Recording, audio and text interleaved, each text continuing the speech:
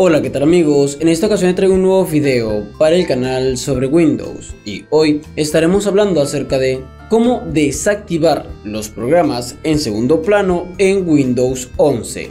Por lo que si quieres conocer un poco sobre esto, quédate en este video. Comencemos. Bienvenidos a comohacer.com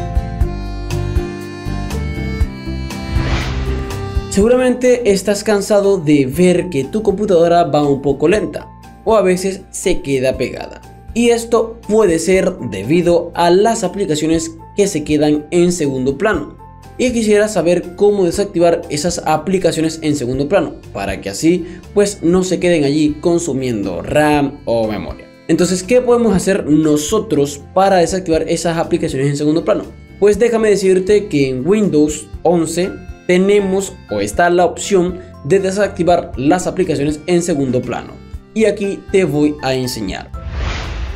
Entonces, una vez acá, queremos saber cómo desactivar las aplicaciones en segundo plano, para que así no consuman memoria en nuestra computadora y pues no nos pongan más lenta la computadora o X razón. Lo que vamos a hacer es lo siguiente, vamos a dirigirnos acá al inicio y le vamos a dar clic.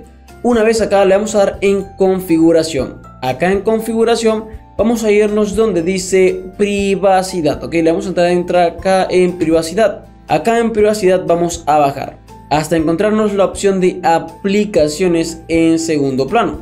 Acá como puedes ver tenemos todas las aplicaciones en segundo plano, yo las tengo desactivadas, pero si no quieres que sí, las aplicaciones, ninguna de las aplicaciones se ejecuten en segundo plano, pues vas a desactivar esta opción que tenemos acá, ok, le vas a dar acá y ya de esta manera las aplicaciones no se van a ejecutar en segundo plano.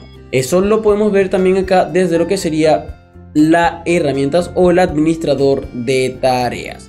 Entonces de esta manera podemos solucionar nuestro problema para que así las aplicaciones en segundo plano no se ejecuten. Además, pues activarlo y quitar las aplicaciones que no quieres, pero sí dejar las que quieres ejecutar en segundo plano.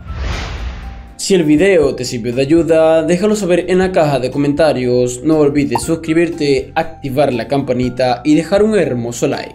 También te invito a pasar por nuestra página web donde encontrarás mucho contenido interesante relacionado con el mundo de la tecnología, sobre aplicaciones, redes sociales, videojuegos y mucho más. Un saludo y adiós.